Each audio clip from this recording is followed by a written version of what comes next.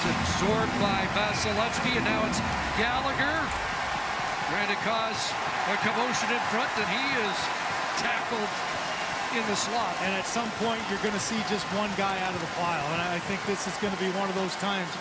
After every whistle, there's a wrestling match going on, and as officials try to do, pick one out of the pile to try to stop this from happening. There's a helmet came off, and that does not look good for Gallagher. He's bleeding severely from the top of the head. It came off at the wrong time. He got taken down and right off the crest of the forehead there. He needs some attention, and that won't be the first work on his face in this Stanley Cup playoff.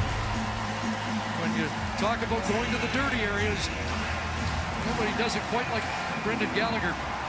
Well, it was Coleman that knocked the helmet off, and then Sergachev with the takedown that went right on the forehead of Gallagher. He stopped up, got boxed out, didn't go after Vasilevskiy, went after Sergachev first, and then the wrestling match ensued.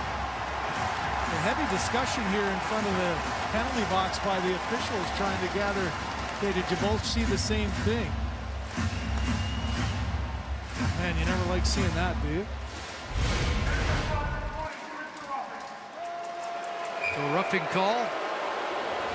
And after the Sergachev was the one with the takedown, he, Yep. he's not the offender. So It is Coleman who takes the penalty.